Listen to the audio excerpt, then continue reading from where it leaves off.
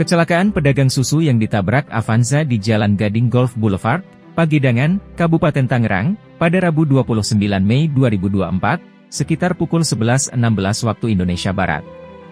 Dari informasi, Avanza tersebut hilang kendali kemudian menabrak pedagang susu yang sedang beristirahat di trotoar. Akibat kecelakaan itu, korban mengalami luka berat. Korban sempat dibawa ke rumah sakit, tapi sayangnya meninggal dunia.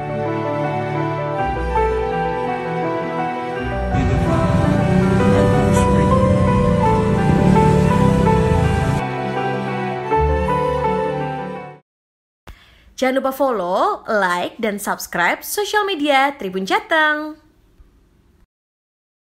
Download Tribun X sekarang. Menghadirkan lokal menjadi Indonesia.